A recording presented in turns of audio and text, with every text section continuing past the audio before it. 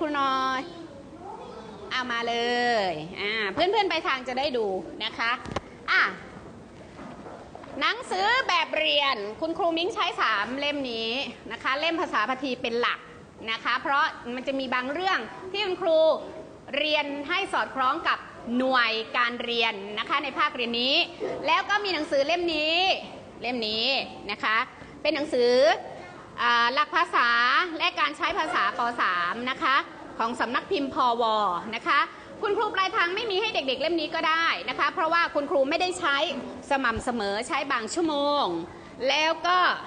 ใช้ควบคู่กับหนังสือเล่มนี้ ซึ่งเป็นแบบฝึกหัดนะคะ แบบฝึกหัดภาษาไทยนี่นะคะ ของวพเช่นกัน ใช้ 3 เล่ม ส่วนอีกเล่มหนึ่งวรรณคดีลำนำเป็นของกระทรวงสาธการ ครูมิ้งไม่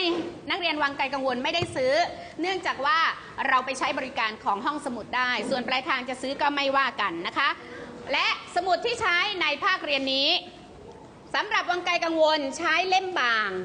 นะคะทำไมใช้เล่มบางคะครูมิ้งภาษาไทยต้องเขียนเยอะนะคะ เนื่องจากเด็กๆนั้นต้องพกมาวันละสามเล่ม ถ้าใช้เล่มหนาหมดเลยเป็นไงคะหนัก ใช่ไหมคะ หนักและบางคนก็คือใช้ไม่ทันหมดก็เป็นไงขาดแล้วก็เปื่อยแล้วก็เน่าด้วย เหม็นด้วยนะคะ คุณครูก็เลยให้ใช้เล่มเล็ก เล่มที่หนึ่งใช้ทำแบบฝึกหัด ใช้ทุกวันไหมต้องนำมาโรงเรียนทุกวันหรือเปล่าทุกวันค่ะ เพราะว่าบางวันก็คือต้องใช้ดังนั้น เด็กๆ ไม่รู้ว่าวันไหนครูใช้ก็พกมันมาทุกวันเลยนะคะทำเสร็จก็ส่งงาน แล้วก็สมุดเขียนไทยให้เก่งเอ่ยนะคะหนึ่งเล่มใช้สำหรับทำอะไรใช้สำหรับเขียนไทยให้ เก่งเอ่ยนะคะ ตามคำบัญชีพื้นฐานอ่าแล้วก็คัดลายมือสำหรับภาคเรียนนี้ในชั่วโมงบ่ายของวันจันทร์กับวันพฤหัสนะคะ จะเป็นภาษาไทยเสริม ก่อนเรียนเนื้อหาคุณครูจะให้นักเรียนคัดลายมือทุกๆวัน นักเรียนจะได้ลายมือสวยๆ ดังนั้นเด็กๆ ต้องมีแบบนี้หนึ่งเล่มนะคะ โอเค ปลายทางก็เช่นกัน เอาละนี่คือหนังสือที่เราใช้ประกอบการเรียนสำหรับ นักเรียน ทีนี้สำหรับคุณครูมีครูหลายท่านบอกว่าครูมิ้งคะขอแผนการสอนได้ไหม จริงๆแล้วเราทำโครงการกันเนาะแลกเปลี่ยนเรียนรู้นะคะ กับคุณครูปลายทางช่วงปิดภาคเรียน มีหลายท่านก็บอกว่าเสียดายไม่เข้าร่วมไม่เป็นไร วันนี้คงมีเวลาคุยไม่พอนะคะ เราเก็บไว้ก่อนแล้วกันนะคะ แต่ว่างานก็คือยังไม่ได้เท่าไหร่นะคะ ดังนั้นให้ครูใช้เล่มนี้ไปก่อน เมื่อไหร่แผนการสอนครูมิ้ง ครบถ้วนสมบูรณ์และจะแจกให้ทันทีเลยนะคะ เอาเป็นว่าใช้เล่มนี้ประกอบการเเรียนพร้อมเรานะคะ ดูกำหนดการสอนล่วงหน้าได้ อันนี้สำหรับคุณครู บางโรงเรียนก็ได้รับแล้ว บางเรียนบอกว่ายังไม่ได้รับ เพราะไม่ได้เป็นสมาชิกของมูลนิธิการศึกษาทางไกลผ่านดาวเทียม ไม่ได้เป็นเครือข่ายนะคะ คุณครูถ้าไม่เป็นเครือข่ายก็ขอเรียนเชิญคุณครู สมัครเข้ามาร่วมกับพวกเรานะคะสมัครไปที่ไหนก็ให้โทรศัพท์ไปที่ 022826775 นะคะ หรือเข้าไปในเว็บไซต์ของมูลนิธิการศึกษาทางไกลผ่านดาวเทียมนะคะ แล้วคุณครูก็จะเข้าไปสมัครหรือติดต่อเจ้าหน้าที่ได้ ก็จะได้เป็นสมาชิกเครือข่ายของเรา แต่ถ้าไม่เป็นสมาชิกเรียนได้ไหม ได้ค่ะ เพราะว่ามูลนิธิของเรานั้นเปิดกว้างสำหรับทุกๆท่านนะคะสำหรับทุกๆ โรงเรียน และสำหรับบุคคลทั่วไปที่จะเรียนกับเราอยู่ได้ตลอดเวลาอยู่แล้วนะคะ เพียงแต่ไม่ได้รับเล่มนี้ เพราะเราไม่รู้ว่าท่านกำลังเรียนอยู่นะคะเอาละถ้าโรงเรียนใดไม่มีไม่ได้เป็นสมัครเป็นเครือข่าย คุณครูก็เข้าไปในเว็บไซต์แล้วก็ดาวน์โหลด คู่มือมีเหมือนแบบนี้หมดเลยนะคะ เพียงแต่ไม่มีเป็นเล่มแบบนี้โอเคนะคะ คิดว่าคงจะ เข้าใจกันแล้วนะคะ วันนี้สำหรับการแนะนำเรื่องราวต่างๆ เกี่ยวกับวิชาภาษาไทยเอาละเด็กๆของครูรู้เรื่องไหมคะเรื่องและถ้าคุณพ่อคุณแม่หนูอยู่ที่บ้านอยากจะให้ดูหนูกำลังเรียนอยู่ ถ่ายทอดสดเลย แม่จะได้เห็นซันดรีม ได้เห็นหนูแป้ง ได้เห็นใครนะบาสไหนเด็กชายบาสคนไหนนะ มาใหม่เด็กชายบาสนะคะมาเรียนใหม่นะคะ ถ้าคุณพ่อคุณแม่อยากดูว่าลูกกำลังเรียนอยู่อย่างไร นักเรียนก็ไปบอกคุณแม่ให้เข้าไปในอินเทอร์เน็ตอ่าใช่ไหมคะ พิมพ์ไปว่ามูลนิธิการศึกษาทางไกลผ่านดาวเทียม และไปในรายการสด หรือเปิดโทรทัศน์ช่องอะไรคะช่องเจ็ดเจอไหมคะช่องสามเจอไหมคะไม่เจอต้องไปที่ช่อง DLTV 3 นะคะ หรือช่องที่ 88 อ่าของดาวเทียมนะของจานดาวเทียม หรือบางสัญญาณคุณมิ้งไม่รู้สัญญาณจานดำจานแดงจานอะไรลองไปค้นหาดูนะคะอ่านะคะอะจบเรื่องราวตรงนี้ ใครมีอะไรสงสัยไหมคะ มีไหมอ้าวอุปกรณ์การเรียนใช้อะไรบ้างคะคุณครู แน่นอนป .3 ใช้ดินสอใช้ไม้บรรทัด ใช้ยาง ลบใช้สีไม้นะคะ หรือจะเป็นสีเมจิกเพิ่มเข้ามา หรือปากกาสีดำใช้สำหรับตัดเส้นนะคะ ก็ได้เป็นการตกแต่งชิ้นงาน โอเคไหมคะ นะคะอะเก็บกระบะเหรอกระเป๋าไว้ก่อนนะแค่นี้นะคะ แล้วมาดูต่อเรื่องราวของเราต่อไปอะเด็กๆรู้หรือเปล่าว่าทำไมเราต้องเรียนวิชาภาษาไทย ทราบไหม เพราะอ่าได้ยินแว่วๆเพราะอะไรนะ ตอบดัง ๆ เลยอ๋อเพราะเราเป็นคน ไทย เราจึงต้องเรียนวิชาภาษาไทย อ้าวครูครับก็ปีนี้ปี 57 ใช่ไหม 2557 แล้ว ปีหน้า 2558 เราจะเข้าสู่อาเซียนครูยังจะมาเรียนภาษาไทยเลยเหรอครับ ครูไม่เรียนภาษาอังกฤษเหรอครับอ้าวภาษาอังกฤษต้องเรียนไหมคะ เรียน และภาษาไทยเราต้องใช้อีกไหมคะ ต้องใช้นะคะ เข้าสู่อาเซียนอย่างไร เราก็ไม่ทิ้ง ภาษาของพ่อแม่เรานั่นก็คือภาษาไทยนะคะ เด็กๆยังต้องเขียนต้องอ่านให้คล่องนะคะ แต่ตามหลักจริง ๆ แล้วทำไมเราต้องเรียนภาษาไทยมีอยู่หลายเรื่องราวเลยเราไปดูสิคะอ่าว่าทำไมเราต้องเรียนภาษาไทย ก่อนจะเรียนภาษาไทยต้องไปรู้กันนิดนึงอะไปเลยค่ะทำไมต้องเรียนภาษาไทยอ่า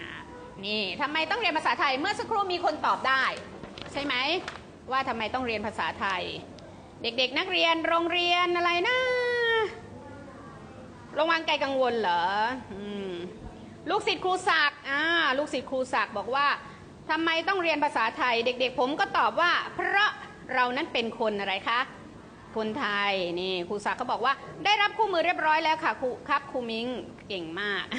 ใครเก่งนะ มูลนิธิเก่งที่ได้จัดส่งให้คุณครูนะคะอะทำไมต้องเรียนภาษาไทยมีคนบอกว่า เพราะ เราเป็นคนไทยใช่หรือเปล่า แน่นอนข้อที่หนึ่งอ่านซิคะพร้อมกันว่า เพราะภาษาเป็น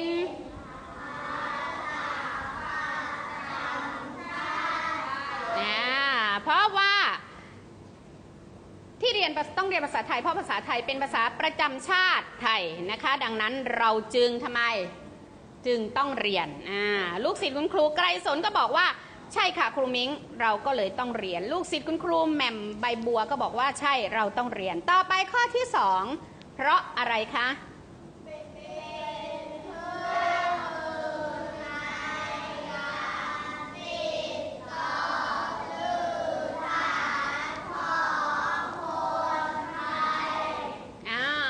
เพราะเป็นเครื่องมือในการติดต่อสื่อสารของ คนไทยอ่านะคะของคนไทย ลูกศิษย์คุณครูมาลินีมณีโชตนะโรงเรียนอนุบาลวัดสเกตนะคะ จังหวัดอ่างทอง คุณครูป้าเล็กของน้องการก็บอกว่า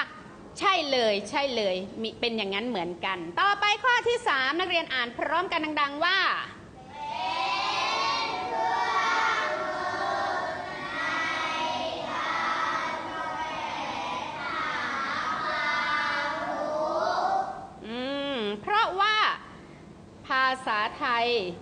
เราต้องใช้ในการสื่อสารใช่ไหมคะ สื่อสารเพื่อแสวงหาความความอะไรเออแสวงหาความรู้นะคะ ไหนใครไม่อยากได้รับความรู้มีไหมมีไหมคะ ไม่มีนะคะ ทุกคนอยากได้รับความรู้ ทุกคนก็ต้องทำไมเอ่ยทุกคนก็ต้อง เรียนภาษาไทยอ้าวเรียนภาษาเขมรไม่ได้เหรอคะคุณครู ได้ไหม ได้ ได้ไหมคะ ได้ เรียนภาษาลาวได้ไหมคะ ได้ เรียนพพม่าได้ไหมคะ ได้ อ่า ต่อไปนี้เราต้องเรียนในหลายๆ ภาษาเลย เพราะโดยเฉพาะภาษาในประเทศอาเซียนนะคะ แต่เราไม่ทิ้งภาษาอะไร ไม่ทิ้งภาษาอะไรคะ เออ เราไม่ทิ้งภาษาไทยของเรานะคะ เพราะว่าเรานั้นเป็นคน คนไรจ๊ะ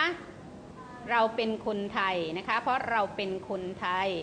เราก็เลยต้องเรียนภาษาไทยนะคะ เพื่อแสวงหาความรู้ข้อที่ 4 อ่านพร้อมกันดัง ๆ ทั่วประเทศว่า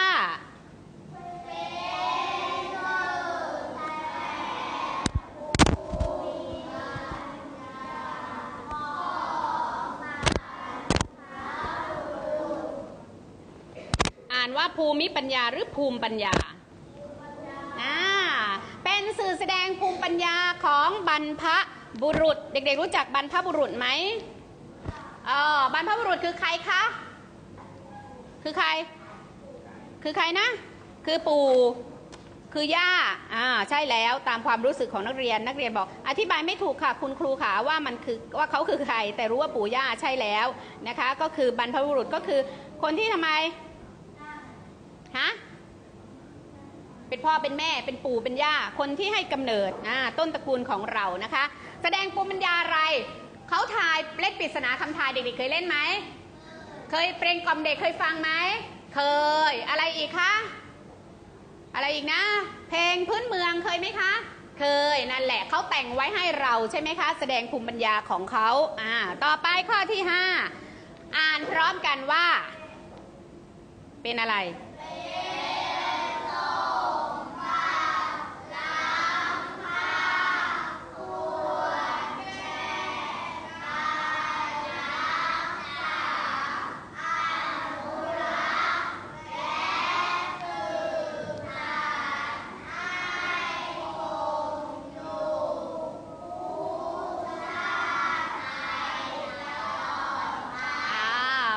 มบัติอันนี้เป็นสิ่งสำคัญนะคะ เป็นสมบัติล้ำค่าควรแก่การรักษา เพราะมันเป็นภาษาประจำชาตินะถือว่าเป็นสมบัติของของไทยเลย และอนุรักษ์แล้วก็ทำไมด้วยอนุรักษ์ แล้วก็สืบสารให้คงอยู่คู่ชาติไทยตลอดไปอยู่ๆเด็กๆ ไปพูดภาษาอังกฤษหมดได้ไหมได้ไหมคะ เออไม่ได้แต่นักเรียนต้องพูดภาษาอังกฤษเป็นไหมคะ เป็นลูกศิษย์คุณครูกุหลาบบอกว่าต้องพูด ลูกศิษย์คุณครูชุติการก็บอกว่าต้องพูด ลูกศิษย์คุณครู